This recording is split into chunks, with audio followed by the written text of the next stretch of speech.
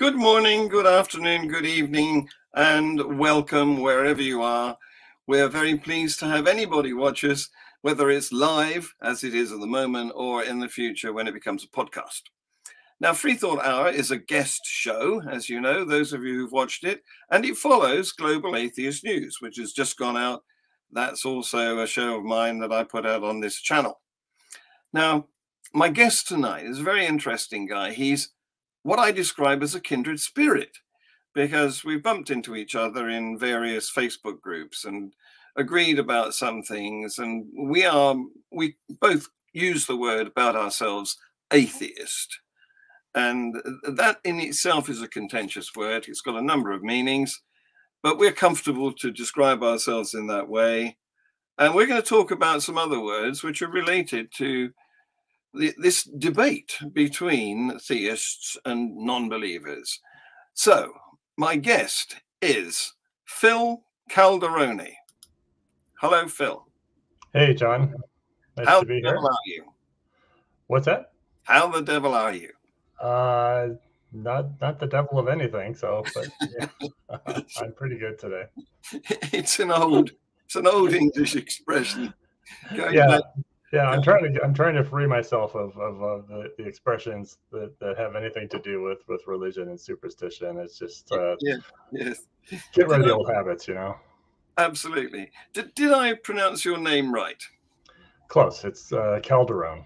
Calderone. Right. I, I was giving it the Italian E and You're right. Yeah, yeah. You're right. The Italian the Italian end would probably emphasize the the, the e. My my grandfather was probably the last one to do that, but Yeah, yeah. I, I guess you have Italian heritage. over here over here in California, I, I constantly have to to battle the the Spanish version of Calderon, which does Oh. not have the e. Mm, Um, pronounced the same, but uh, every time somebody writes it down, they write it without the e. So I always have to say Calderon with an e. right. Know. Okay. Yeah. So it means something to do with living in a cauldron or a crater or something. Okay. Anyway, being an American, you Yeah. may have been brought up to be a bit more religious than I was. I frequently encounter this with my guests, who are many, many of them are American, and uh, they over here, certainly back when I was born, we, we've we're pretty much a heathen country, and so I didn't have religion inflicted upon me at all, really. I mean, the only time I went to church was when somebody got married, and I was Mhm. taken along as a small boy. If somebody died and there was a funeral, I didn't get taken to that. They left me at home in some other care. So, uh, is that your s- experience, or have you a different story to tell? Um, I grew up in Buffalo, New York, and I was raised Catholic, Mhm. um, which was not particularly uh, well, it was not evangelistic at all. It was not. It was very casual, you know. Mhm. But uh, the parents just kind of followed the thing about you know you what you do is just go to church, and that's that's pretty much the extent of it. Um, so you know, we went to church because we were supposed to. Um, we were not Bible readers. Uh, I, I did go to Sunday school, and they teach you all the happy stories. Yes, But yes. uh, that's about it. And you know, you get your first communion and your confirmation. Yeah. Not that big a deal. So yes, yes. it's not like today where there's there's more apologetics and stuff, but I uh-huh. suppose less so in Catholicism. Yeah, and, and New York isn't really like the southern states, is that It's not really a hotbed. There's Yeah. it's more multi-ethnic. Yeah, there there there are some there are some at least at the time uh, there there are ethnic areas uh, that have uh, blended in over over obviously a couple centuries. So Hmm. there's a there's a large Polish population, Italian population. Hmm. Um, there are the poorer areas, which was uh, more of a black population, uh, very little Hispanic. Mm. You know, every, every area's got its uh, its- its history and its progress. So. Yeah, but like me, you've come to be a bit of a missionary for reason. And uh, how did that happen? Uh, so I a couple. I had a couple triggers. Um, well, let me let me start with with the Catholicism. I I left. Mm-hmm. I stopped going to church when I was like a teenager, seventeen or so, because it just uh, when I started really paying attention and noticing that it just didn't seem to have any meaning or purpose. Mm. It's just you know telling the same stories, doing the same things. It's like what, mm. why? Uh, I, I honestly at that point I thought I was not understanding. I thought I was missing something. so I thought I'd step away for a while, mm-hmm. and I figured I would get back to it, but it never never did come to make sense. So I really mm-hmm. just didn't get back to it. Uh, and then years later, I was slowly developing the the, the, the opinion that, that that God was probably not there, mm. um, and that that was a piece of it, but but also there was a trigger of uh, 9/11 was was one. Yeah, yeah. Um, and then also in 2009, after the Obama election, you remember that the healthcare um, town halls where people were interrupting just even having the conversations. Yes. And and I was really struck with the concept that people come to different conclusions um, based on the same information, and I I really wanted to understand why. And, they so part, feel quite strongly about it, can't they? Yeah, part. Well, it was uh, on, to be honest, it was really stressing me at the time. Um, mm. I, I, yeah. So I, you know, so part part of my interest was was on a religious tract, and part of it was on a political tract. But it was, mm-hmm. it seemed to me that it really kind of came down to once I started to study and read about it, that it came down to not the religion or the politics, but the the core problem or the root cause of all this was the question of belief and how people come to belief. So right. I, I, started to center my my study on on that, and I've been doing that ever since for about ten years now. Mm-hmm. So, what's your specialism? Are you in education or anything? Because it seems to me that's what you're doing. You're wanting to educate people. Yeah, I'm a retired pharmacist. Um, mm-hmm. So I had to retire early because I had a retinal detachment. Oh. So it, it, it gave me an opportunity to to you know I wanted to do something interesting and useful. Um, mm-hmm. I've, I've done uh, presentations over the years, uh, some writing, um, and yeah, I'm, I'm I'm always interested in learning what's true and correct mm-hmm. and understanding people why people don't mm. when people don't. Mm. So I'm a very strong advocate for lifelong learning. And yeah, at this yeah. point, at this point, I'm I'm very interested in helping the next generation to take on um, the task of, of defending reality, frankly, defending yeah. what's real, and and you know as, as many false things as we can take out of uh, people's minds, mm. uh, they'll be better equipped to to make life decisions and develop societies or whatever. Yeah, um, based on Absolutely. what's real. Informed decisions. That's what we want, isn't it? Mm-hmm. Not just guesses or you know un unsubstantiated preferences. So I hope they yeah. lasered your retina back together. Say again. I, I hope they lasered your retina back onto the back of your eye. Okay pretty good. There's some permanent damage, which is why I didn't go back to work. But it's yeah, it does pretty well. The brain, it's it's interesting how the brain yes. puts the the two eyes and it puts it back together.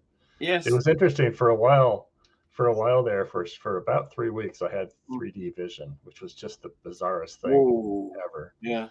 Um, but it is it is it's since blended pretty pretty good, even though I have a cataract growing and whatever. You know. Oh right. Yeah but yeah, the brain well, the brain does uh, does does make uh, make a pretty good image, and it's, it's it kind of a, a good metaphor for how our thinking works in general too. So yeah, yeah, it it gathers what data it can and assembles the best picture out of it. Because mm-hmm. I I uh, I've had both of my lenses replaced because hmm. I was I didn't have severe cataract, but I was going a little bit cloudy and and I thought I'll have this done now and benefit. Why, why would you wait? You know, because I could have maybe 20 years of clearer vision, or 10 years of deterioration, and then only a further 10 years of clear of It didn't seem to make sense for me, so I went for it when yeah. I didn't need to necessarily. But I've had one eye focused for distance vision, one eye focused for near vision. So, and the yeah. brain, somewhere out there, the brain puts them both together and makes yeah. you know, stereoscopic pictures. But it means that I can read with one eye and drive with the other eye, and it's all it, it, comes out in the wash somehow. Yeah. Anyway, um, time, yeah. Yeah, yeah. So some of these words that you've already dropped into the conversation, they are quite contentious. I mean, the word belief, for example. I started out when I when I started being sort of a campaigner for re reason and realism. I started out with a, a quite firm attitude towards belief and I've modified that a bit now. So I'll tell you about it in a minute, but I'd like to hear what okay. how you define it. What do you think a belief is or believing is? Well, belief is is something that you consider to be true. That's the simplest way to say it. I, I, I would fuzzy that fuzz that a little bit and and say it's uh, something that you consider to be more likely than not correct or true an opinion, um, isn't it? If you consider it. Um, not quite. I, I, you know, I try to objectify it a little bit more because I want to be able to to measure it to put some sort of metric to it. Yeah. Um, what I do is I use a, a, a scale of uh, one to ninety nine, and then oh, yeah. you can ask somebody, "Do you believe mm-hmm. X?" Um, what what is your confidence from on that scale? Yeah. Now, obviously, 50-50 is a it's sort of a different concept, so I'll avoid that one. But essentially, if you're above 50, you believe it. If you're 51, you believe it. Right. If you're 49, you disbelieve it. But mm-hmm. and then the, the difference, let's just say you you believe something, then you're 70% sure, certain. The difference to 100, that 30%, that's your level of doubt. So you've got your mm-hmm. your belief to a degree, and then you've got your doubt to a to a degree, and it works on the bottom of the scale similarly, non-belief and right. doubt in that direction too. So that way you've got not only the belief, but you've got a, a scale, the, the strength of, of your belief and your level of confidence, um, a way of looking at that. We, we, we do tend to, when we use the word belief alone, think of think of it more of a as an absolute whole. You know, I believe something, yes or no, uh, and and that that can lead to some problems. Um, particularly when you talk about uh, is your belief justified? Yeah, yeah. Humans are very black and white. We like to have polarity. We like to have a, a yes or no answer, and we're we're not comfortable with there being a dubious gray middle type mm-hmm. outcome. Mm-hmm. And that's and so, that's one of those that's one of those factors um, where we we differ. The there are different types of psychologies, different type of personalities and mm. the de- degree to which some people like prefer black and white answers to fuzzy answers or mm. to be comfortable with not knowing the answer uh, mm. that varies in the population and that varies to a degree so we can you know every personality aspect has essentially a sliding scale on it mm. with mm. within a certain range i don't know what that range is necessarily it's not to say that some people are entirely black and white and so the others are mm. entirely open to anything but you know we may we, we may be for example let's just say uh, how empathetic somebody is you know. Generally speaking there are not people that are completely empathetic and would give away you know every piece of clothing off their back and then other people are completely unempathetic to others. We, we do seem to operate within a range. Let's just say we're we all have some empathy maybe our range is 50 to 70 percent so the the more empathetics are higher and uh, the, the less empathetics are, are lower but it's not like they don't have empathy you know yeah so, and it might be yeah. it might be contingent on circumstances too i mean that's another yeah there are lots of different factors and that's one of the yeah. factors too yeah i mean a person so, yeah. who is person who is ordinarily mean might be triggered to be more generous if he sees a certain level of need. Mm-hmm. Yeah, fear is an interesting uh, factor to look at too, because on the uh, within the more conservative personality, you see they are more reactive to fear, and that the, mm-hmm. there are studies on this. Um, mm. So they're, they're they tend to be overly predictive of of, uh, of things that are damaging to them, and, and, which sometimes are actually just not. Yeah. Um, and uh, a, a, more progressive or liberal personality goes the other yeah. way. They're less they're less triggered by by things that cause fear. Yeah. However, I'll take something more extreme, like when 9/11 happened. You basically had the conservative side, which was they were already there. They were already worried about people yes. taking over their lives, yes. whatever. Yes. And then um, the, the the left, which had uh, less of that baseline fear, they they would rise to that same level. Yes. Under those circumstances. Yes. And that's we've seen that historically that you know when when when war comes to your you know when you have a common enemy everybody sort of gets together so that's yes. that's part of mm.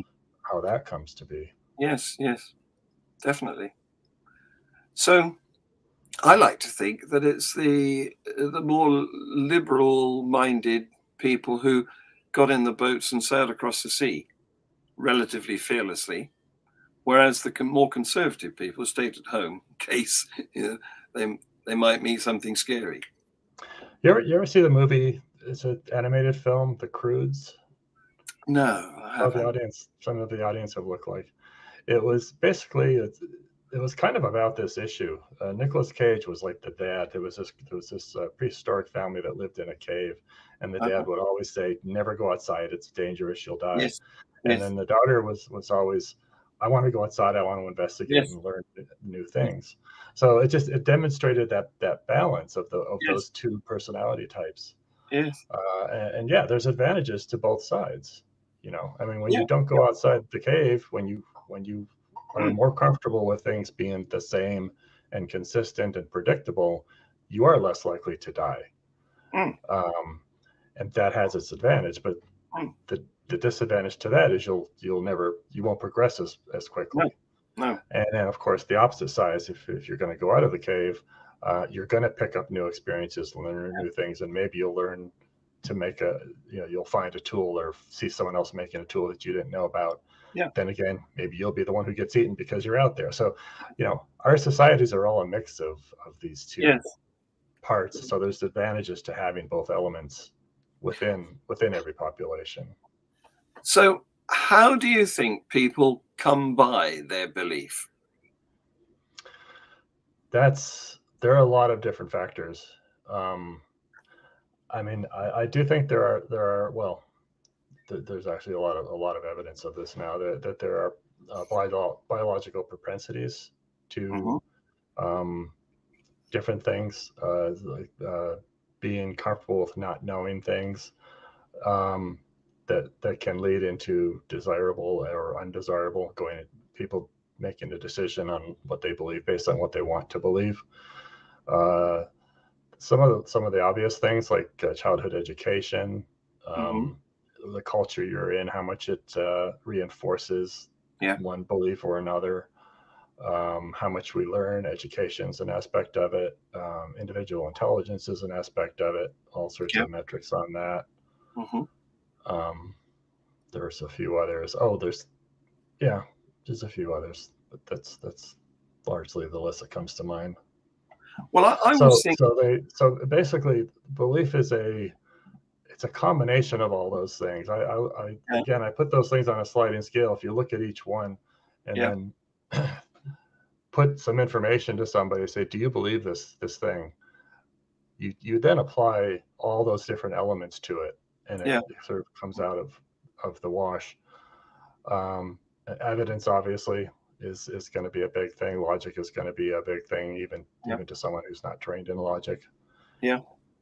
So. And do, do you think the impact of those various factors changes throughout life? Well, that's that's kind of the nature nurture question. Um, the everything to date seems to be that the the, the nature nurture the influence of what your biological propensities are versus what you're exposed to in the environment which includes your education seems to be about 50-50 in the end and mm-hmm. and either one can kind of override the other. Mm-hmm. That could be circumstantial too. So I'm sorry, ask what was the primary question again? Well, I was, I was thinking, let, let me lead into it because I was thinking yeah. that all the religions want to get you when you're young. Yeah. Because you're suggestible. Yes. You well, more or less believe what an adult will tell you. And then there comes a period of in your life when round about adolescence you begin to question the adults and yeah. maybe for a period you even think that all the previous generation were rather stupid. yeah. I, am not sure if suggestible is the right word, uh, quite the right word, because there there is a, an element of, of, of trust of uh, yeah. Parents, which is essentially yeah.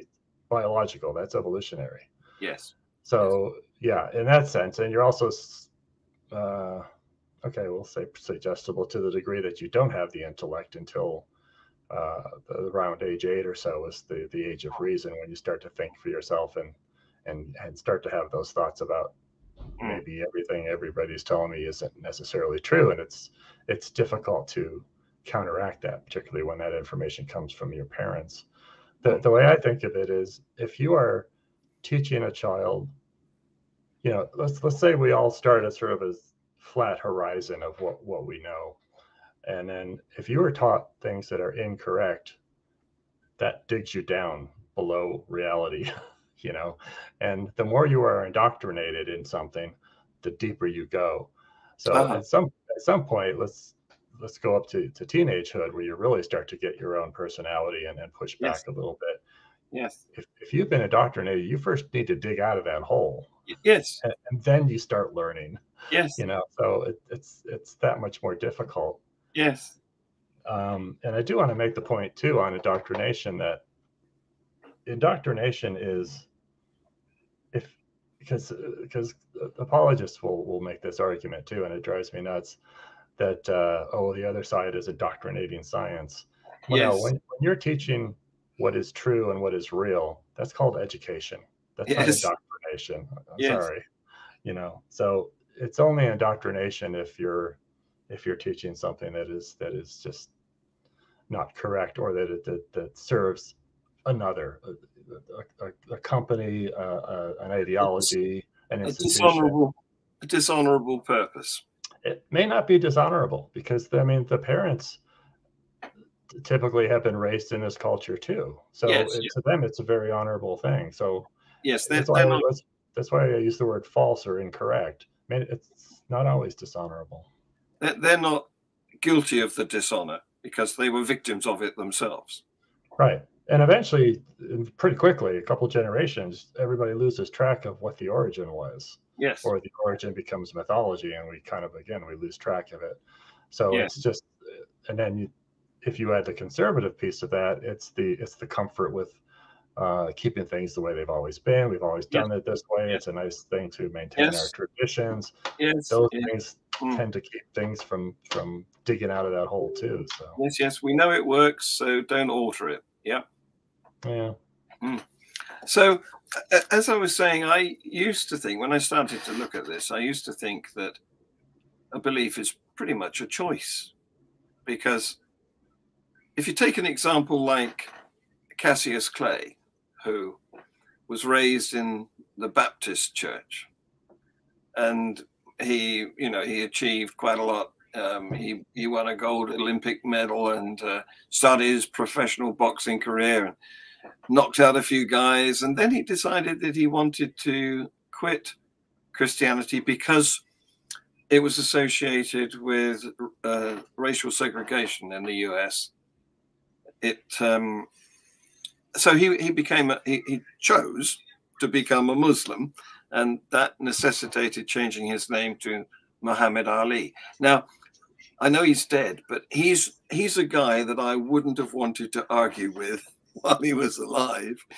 So, from that point of view, I'm thinking that change of belief, in his case, was definitely a choice. Um, I would disagree with that. And choice choice of belief is a is one of my favorite subjects. Mhm. Um, let- let's use that that example right there. What what he basically did was pretend to believe. He made a he made a choice to pretend to believe, and then, you know, people do this all the time. And and you know, Was you, that was that a, a choice of changing his pretense? So was he previously a pretender and merely oh, I- on a new pretense? I don't know his origins. I mean, I don't I don't know how he was brought up and and and all tho- that you'd have to really get that information. But to to just to look at the way you describe it, the your example there, that he liked the way that religion presented itself, or Mm. his what his understanding of the what what it really was Yeah. presenting. Yeah. he liked it, so he he made a choice to that was that became a preference for him and then he chose to essentially pretend to believe until he and eventually that that becomes belief. So Uh-huh. i mean the if you look at the literature about belief you know it's like you can't choose in a in a pure sense. It's like i cannot choose to believe i have six fingers you know? I can't sit here with evidence of five very strong evidence to believe I have six fingers. Um, now I can I can choose to. I mean, you know, when we have when we have preferences, so let's let's go with the with the uh, like the cookie example. You present me with a with a oatmeal cookie and a chocolate chip cookie. I'm going to make a choice Mhm. but I don't know what causes that choice. So, you know, I or I'll like one flavor or another, and I I will choose it, but I, I don't I don't actually know why. But it's not a thing you can conscious, consciously force. You know, so when when people think they're choosing, they are they're generally they're choosing based on what they like. They're based on an intuition, a feeling, and they'll go that way. But to actually believe, which means you have to have a justification for it, um, that that doesn't happen that way. And if your Hmm. if your justification is that feeling, then that is insufficient justification. Yet, if you hold it long enough, it will become a belief. Just the same way that if if like you said before, if a, if a child is taught at a young age that God Mm. exists, God loves you, Mm. and you ask them when they're beyond the age of reason, when they're 10 years old, do you believe in God? Sure, they believe in God. They don't. They don't have the reason. The reason has been lost, you know. But now at that point, they they do they do believe it. Belief generally is by conclusion, you know. You you you see information. Someone gives you information that may be incorrect, but that still that's the information that you're given. You have experiences. You have um, logic or philosophy, and you develop a conclusion. And then, if your conclusion ends above that fifty percent line on Mm. that belief scale, then you've got a belief. Mm. So, the belief So- by choice is a, is a really not generally incorrect concept. I don't really want to get into free will because there's a, there's a rabbit hole that we could go down and, Yeah, kind of a different subject. Yeah. and not not uh, not ever come out of. But I want to first of all I want to say hello to Jason. For, thanks for watching us, and and then I want to talk about because from what you've said, it seems to me that a belief can grow on you.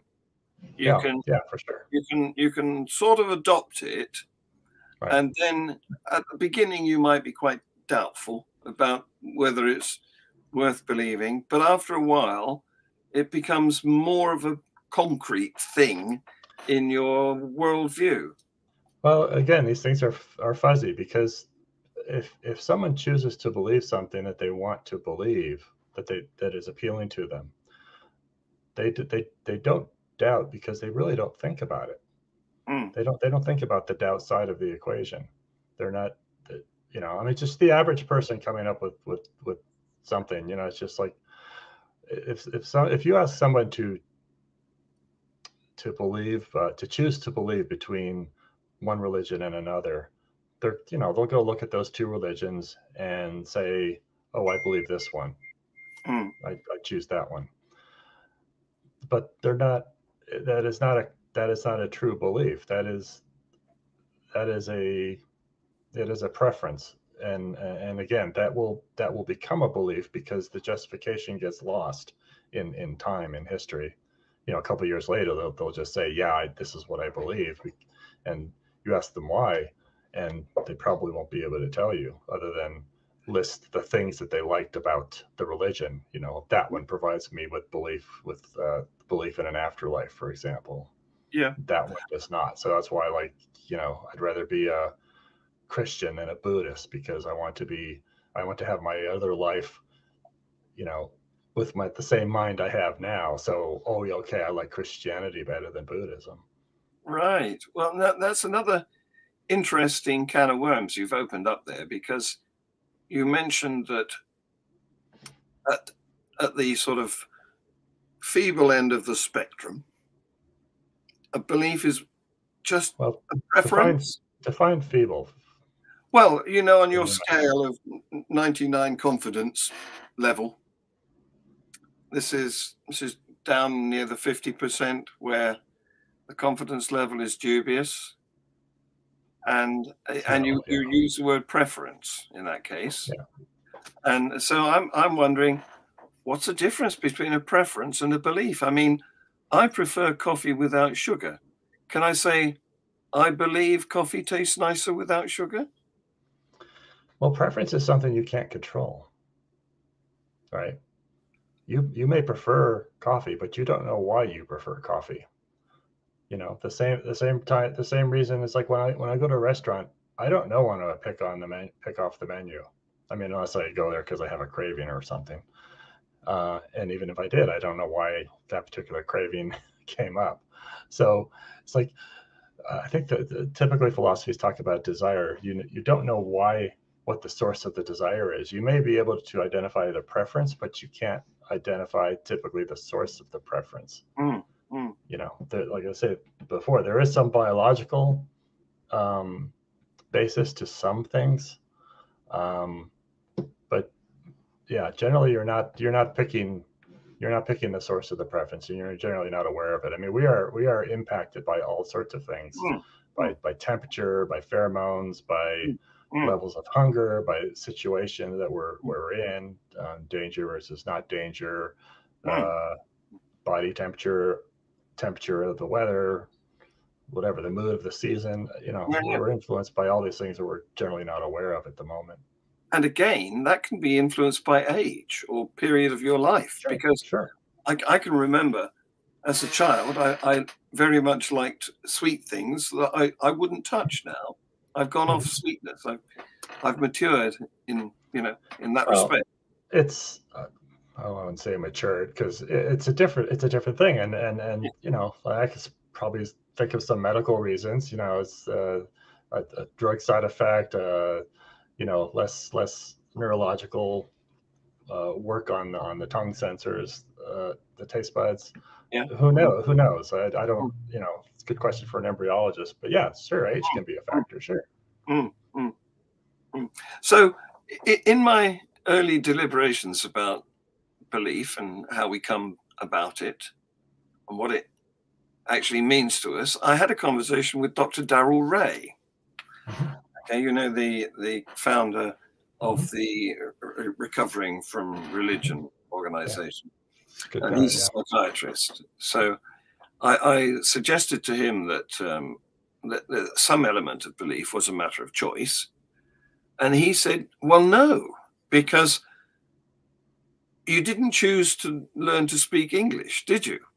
You know, when you were you happened to be born to an right. English speaking community and so you picked up the language and wrapped up in that, because a, a, lot of our language is still biblical, you know, the, some of the expressions that we use, wrapped up in that culture, you, you also picked up this belief system that you saw mm-hmm. going on around you. Mm-hmm. So, certainly at that stage, the very early beginnings of life, belief is not a choice. There's there's no option. You're just fed it. Yeah, you're taking you're taking in what's around you. You know, I mean, you you have a you have some inherent things that come from evolution, whether it be something like a preference for sweets because they have a higher calorie count, Mm. so that that gets put into our DNA. Mm. Um, uh, it's it's um, but almost immediately you're you're you're going to take in what's around you. All the the the best predictor for what religion you're in is going to be the, the, the religion you were brought up in. Yes. Um, Yes. Similarly, tastes and foods, right? Yes. You're gonna, you know, you're gonna like this or that because it's what's was available in your culture. Mm. Um, you know, when we what, when we use the term acquired taste, Mm. that's not that doesn't apply to, to infants. That applies to adults who have grown Yeah. up with a different taste Yes. and to, to, to like something that's a little But different, initially- whether in taste or texture, that's that takes some effort and some time. and, and with acquired taste, they they learn to like something that uh, on first meeting they didn't like. Right. Yeah. Yeah. So I've been watching a series of programs on the BBC over here, which is they- they're historical, and they deal with the, the time, the centuries when sugar became available. Mhm. This is interesting to me because, of course, it's all linked. It's all tied up with uh, sugar cane and slavery, and Yeah. and Yeah. initially getting sugar to this country was was difficult and therefore it was costly and so special parties were held by the rich with Yeah. with meals that were entirely made of decorative sugar items you know Yeah. and, and then gradually it, it became more common and therefore cheaper and everybody started to eat a lot more sugar and we all lost our teeth and so on and so forth Yeah. so that's um that's a similar sort of thing isn't it the the the changing diet is a cultural phenomenon in the same way that belief systems can change Yeah, I mean that's the the the- so the nature of fads too, right? Something something Mm. will come up and and sometimes fads will stick and and Mm. and that's that's cultural evolution, right? Mm.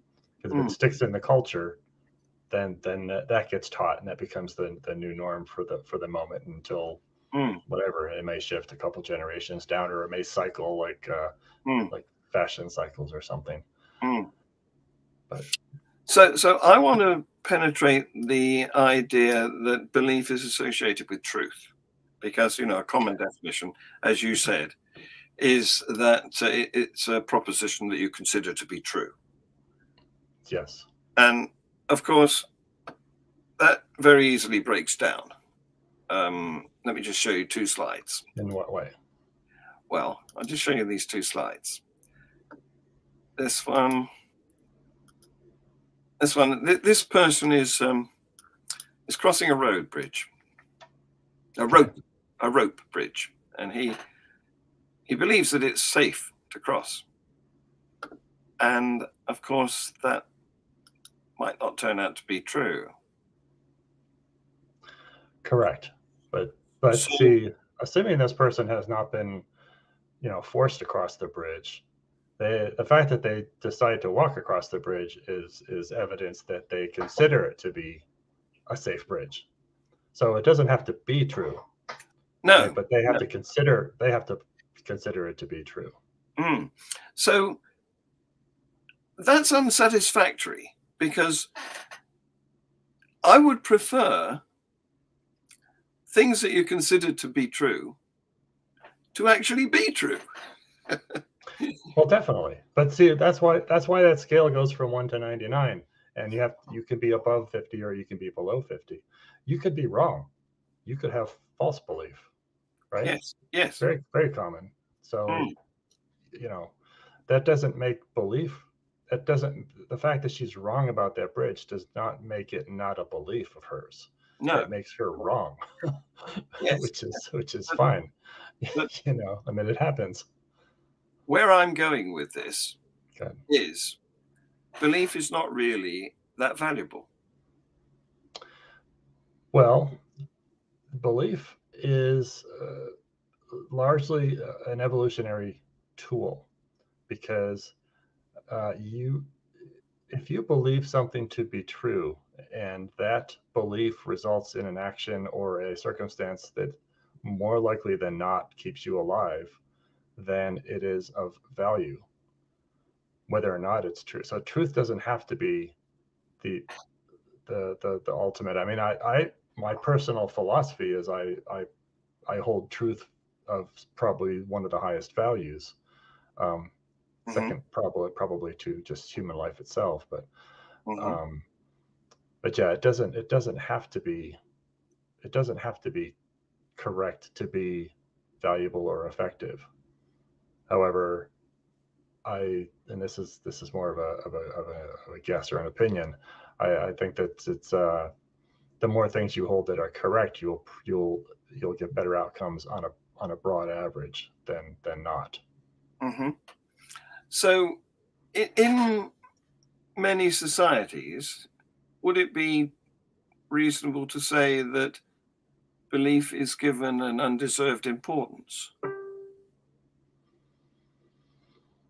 It's not undeserved importance. Well, when when they equate belief to truth, I suppose, yeah. Um, you know, it's not the it's not so much the belief I think in those cases, but but the you have to examine what the the information is. Mm.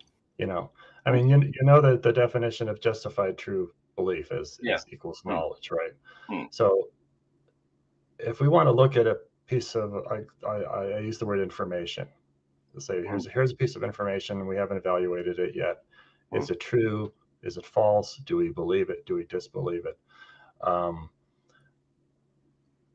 you know, it it is it is information until we consider it and then we can we consider it and then that we develop a an opinion based on that if we consider that opinion to be correct then it becomes essentially a belief yes this thing is that thing or it will work a certain way hmm. we may be incorrect but it's still it's it i guess you could be you could look at in terms of outcome i suppose mm-hmm. well you know, if, if your outcomes are are beneficial more often than not, then mm. the belief is a bit irre- is a bit irrelevant.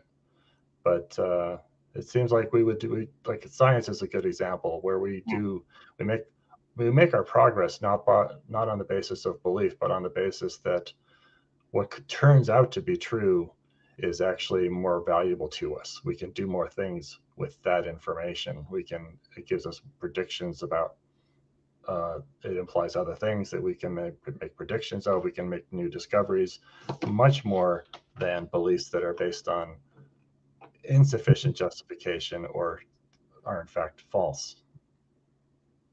Well, there you go, you see, because it, it seems to me that certainly in some cultures, belief is given this greater significance that that it doesn't deserve.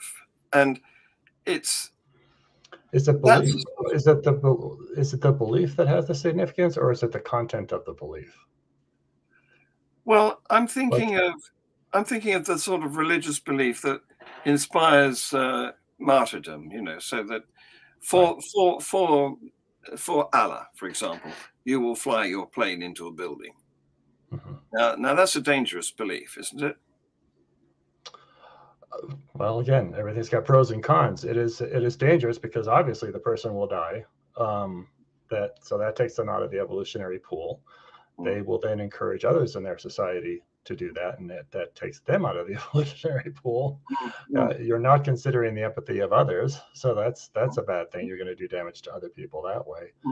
So that's uh, i would say an example of a belief that is probably more harmful than not. However you know, if if you're in warfare and one side is decided to have suicide, um, you know, we saw this at Pearl Harbor, right? Yeah. Uh, you know, yeah. having having the guys that will die for their cause is is, yeah. is a tool that one side has that the other mm. doesn't. Mm. So, it's, it's so that's kind of a sad truth, but. Yeah, yeah, yes. So that's a case where belief has been uh, elevated to an unreal, mm-hmm. unreasonable, unhelpful extent. Yeah, to but it's it's to an end. Someone has a someone yeah. has an end. Hmm. Um, now, the uh, the Christian Science Church, for example, believes yeah. that they don't need medical care, that they believe prayer is more effective than medical care.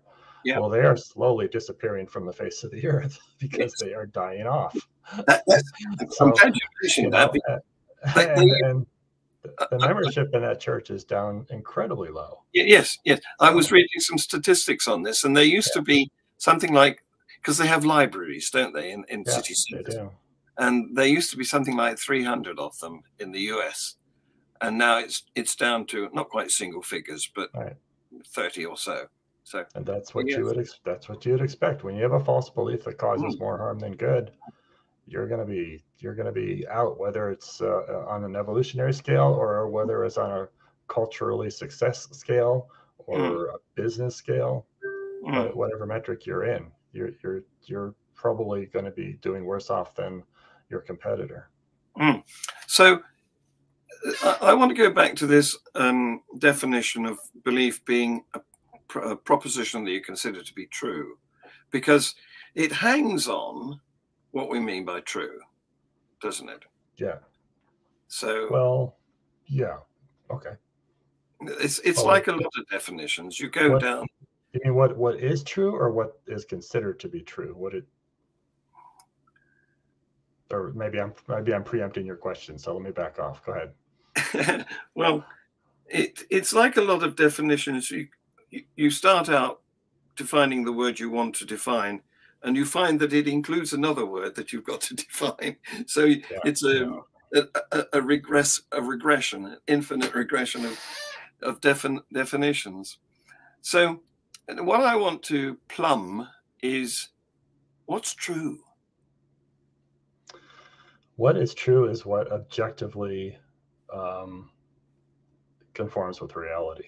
Mm. Let's put it that way. Mm.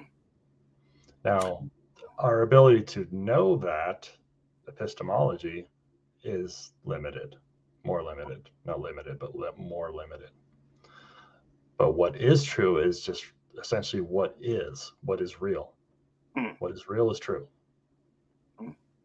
you know does does is there a planet over there is there a tree you know directly three miles east of you right now There yes. is an objective truth to that well there you is. Not, you may not know it you may not have proper information to believe it because you don't have enough information but there is an objective fact to that as long as you accept that there is such a thing as reality.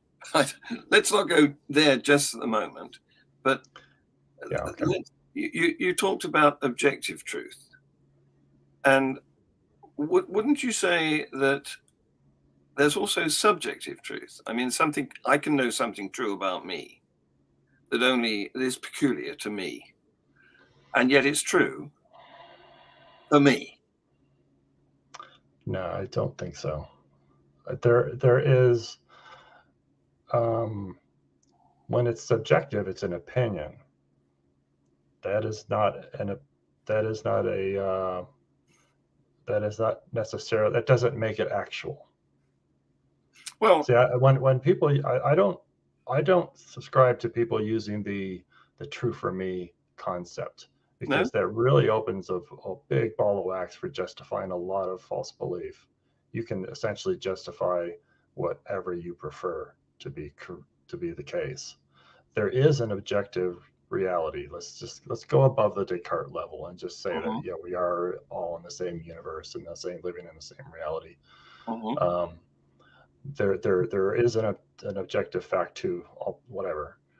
Um, now you can have a if you have a subjective it's like we it's like if we were going to have an argument over what is the best flavor of ice cream you know um, well that's a, that's actually a little different because that's the case where there's not an objective fact. There are different flavors and then subjective is mm. is what is what is preferred. So I, I i i, don't like that phrase true for me. It uh it, it it's it really opens the door for all sorts of rationalizations and and fallacious beliefs. You can have an opinion, yeah, and you can have a preference, but you cannot define objective reality by you cannot define objective reality by subjective judgment. Okay, so objective reality is what's out there. It's the Yeah. cosmos, isn't it? And it's it's, it's what is actual, yeah, yeah. whether it And- be out there or, or in here. Well, I mean, not in here. I mean, Well, is there is there a clock behind you right now? Is there is there's an objective truth to that? I don't know if that's a if if that's a green screen or not, but It is. Yeah, it's a green screen. So so, so Yeah. then that, that is objectively false. There is objectively Yes. not a clock, at least not by that piece of uh, information. so Well, what I'm trying to get at here is that um, what's true now need not necessarily have been true yesterday, may not necessarily be true tomorrow, because everything is constantly changing. that's that's fine. That's that's true. That's correct. Everything might change. Yes. Well, everything has changed. I mean, if we, if our understanding of how Yeah, the universe yeah, first formed, Yeah. then If nothing if nothing has changed, then we wouldn't. As long as we have time in the equation, we have we have change. Exactly. Yeah. exactly. Once upon a time, there was no matter. So, So I'm not, I'm not quite sure where you're where you're headed to. So you may want to get a little more specific about what Yeah, well- thing you're considering here. okay, where I'm heading is truth is not absolute; it's relative. Uh, it is not. It is truth is relative. I disagree with that. Why would it not be absolute? because it's it's only true now and there is no such time as now there's only Well, is it not more. true? Is it not true that Ronald Reagan was president because he's no longer president? well it is at the moment but if you track back to 100 years ago it, that wouldn't have been a true statement Is it true that Reagan did not exist before his birth? yes These are Yes. true things that are in the past. yes but So, so truth exists, and, and you're right. You, I, I, I guess you could consider, you know, what I'm kind of doing is evaluating slices of time as individual, Yeah. Mm. as individual nows, and we can consider truth within those individual nows. And to Yeah. say something is true does not necessitate that it's true for all times and all places. No. So But- that's why that's why I wanted to get a little more specific about what what Yeah. concept you're trying to make. So maybe your your definition of truth is a little too broad. So well i'm thinking i'm thinking of how it's used in you know in, in common or garden language the general meaning and understanding of what is true people people tend to have this black and white idea of what truth is and Okay. isn't so so that generally speaking, they are considering what is true now at this moment. yes yes and, Yeah. and the very fact that you've had to divide time up into little slices and say that um, you know the conveyor belt didn't stop and Yeah. so so so there is there is no absolute forever truth it's all relative especially to time and probably to other factors like space expanding and Well, there's there's no reason to believe that that. But, again, you're it's like you're trying to say that like a tomato that I hold, can hold right now isn't an absolutely truly there because it didn't exist before and it won't exist tomorrow. You know, so we can put parameters on truth. We can Yeah. put a time parameter if that's what you want Yeah. to do. yeah yeah you're Um, making it you're, you're making it relative to To Your well, your chosen okay, we can make it relative to time if you want to do that. chosen period of time Yeah, Yeah. it's not relative to opinion. No. So again, it is relative. It is it is what it is. a- It is actual, it, and that's why I say it in every in any particular time in any particular circumstance, because those are the unique variables, right? Those those variables change. The existence of this microphone Mm. changes based on, you know, the the structure of it, the time, you know, Mm. whether it gets hit by lightning in five minutes. You know? Yes. let's hope not So right now it's a microphone. Five minutes it could be microphone parts. Yeah. Yes yes so what we seem to have established is that uh, truth is not a permanent thing. It's it's um, it's something that you've got to restrict into your chosen time period, or maybe other factors too. what is true now doesn't have to stay true, if you want no. to say it that way. Mm. Yeah. Yeah. So, how does it?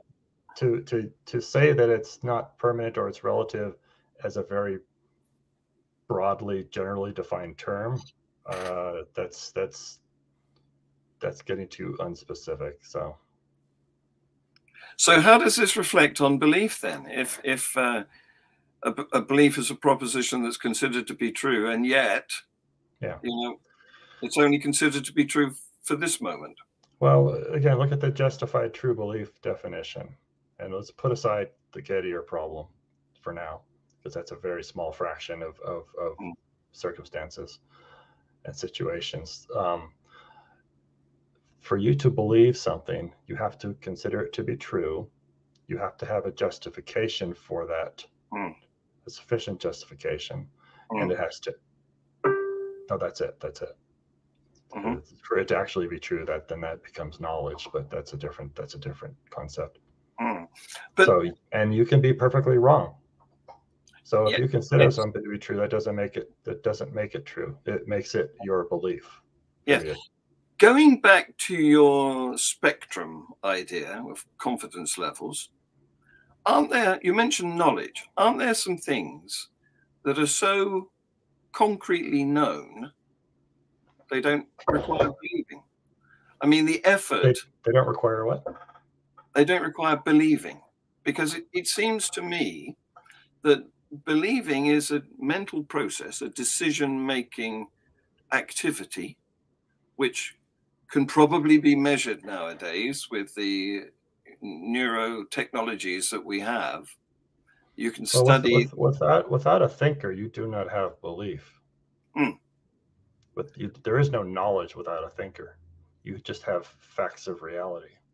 Right. So so now we're talking about information that right. exists without anybody knowing it. Right. Mm.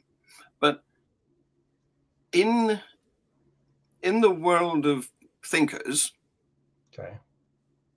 Aren't there some pieces of information that are so solidly known they do not need considering? You see, well, I'm going back to that I, definition. I'll, go ahead. I'm going back to that definition of a proposition that is considered to be true. And I'm looking at it and thinking, I don't need to consider whether I will fall if I jump out of this window. Mm-hmm. Well, on the philosophical level, the only thing we can know is that we that that our our thinking mind, whatever that is, works, exists. So let's let's go above that because that's just fairly impractical to, to apply that to all every situation. So let's again go above that and and you know agree that we all exist and we all live in the universe and, and we all have brains and things like that. Hmm. Um, leave leave Descartes out of this. Well, let's just go above that level. I don't want to drag everything down to that level. No, no. Um, because it's not it's not fair to apply that to to everyday situations. Hmm. So whether or not the, the the sun will come up tomorrow is a very reasonable thing to believe. Yes. Because we have seen it happen mm. many, many, many times. We have history of it happening many, many times we have knowledge of physics and chemistry hmm. and magnetism and everything else that you know so our, the justification is so high hmm. that um, on a just purely practical level that yes that it doesn't need to be questioned. Now yeah. there, that's not a that's not a philosophical philosophical absolute but it, let's call it a practical absolute. Exactly. Yeah. So what i'm what i'm saying is really on your scale of you know zero to 100% confidence we don't need 100% confidence. What i'm That's saying is we want to bring that bar back a bit and consider i don't know maybe 97% confidence to be as uh, as true as it's necessary to have it, have this proposition, without uh, for it to be believed without the need for any effort of consideration. I, I will agree with you, but first you have to first you have to decide between you and whoever you're talking to yes. to what degree you're going to uh, work above that Descartes level. Yes. So, you know, notice, uh, and you just kind of brought it out. The, the, the when I say the scale of one to ninety nine, yeah. that explicitly leaves out the zero and the hundred. Uh huh. Yeah. Because you yeah. cannot intellectually, honestly, be or actually actually be at a zero or a hundred. Mm. If if you believe a hundred percent, then you are over justified because you don't know everything. Yeah. None of us do. No. So people who say they are they're at 100% are, are fooling themselves. And similarly, at the opposite end, if you disbelieve to 100%, also mm. not not not mm. correct. So, but yeah, I mean, we you know, so you can draw that scale to two to 97 if you want to say that's the the, the yeah yeah the practical yeah. limit yeah. of this. Uh, I I particularly I generally don't do that because I pretty much allow people to you tell me your confidence level. Yeah. And it's, it's interesting the, the the bias that we all have because people will generally say stuff like um you know i believe at 99% and I, or, or they'll say like 99.99999 you know they want to add digits on it. Um, yes. and nobody and not nobody but often we don't work in what's real which it tends to be the you know the 60 to 95% range or something like that you know did jesus really exist as a person you know. That that's a question that is that is really in the uh it's it's not at the it's not at the 1% or 98% level. It's it's down somewhere below that. So. It's it's pretty much an unanswerable question too given the essentially that's that's a big part of it because they'll take you back to personality aspects. Uh, mm. In the circumstance where you have unanswerable questions, mm. which is to say we just don't have enough information to know, mm. um, some people are not comfortable with sitting on not knowing. No, no, and, yes. and they will they will counter with, "Well, you don't know, therefore, what I believe is true." Yes, yes. It's completely illogical. It's almost it's almost a non sequitur. Yes, yeah. because it is. You know, yeah. So there you go. Amazingly, we have done an hour talking about belief. Cool.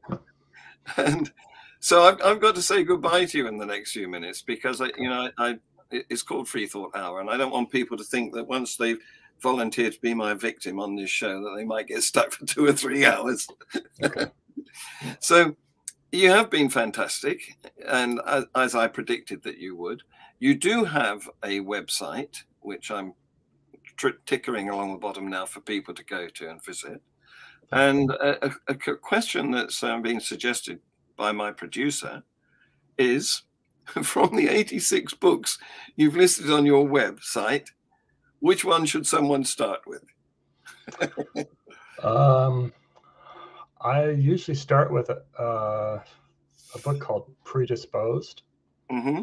which um, uh, is a uh, essentially a white paper, or it's a it's a mm. collection of all the research to to date by some very good scientists on uh, the difference between liberals and conservatives, and oh, yeah. goes into goes into personality, some of the personality yeah. aspects.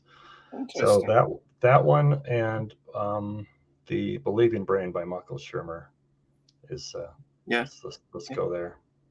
Excellent. Well, thanks for that advice.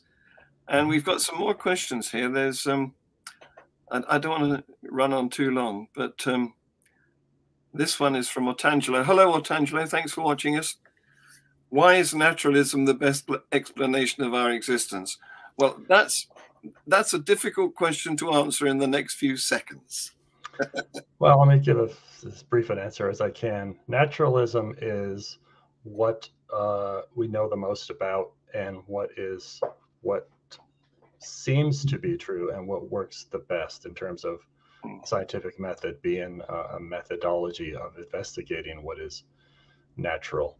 Mm-hmm. Um, now, by I'll, I'll give him a little line here and say by implication that uh, he is considering, he may be considering what is not natural or what is Mm. supernatural to be part Mm. of existence.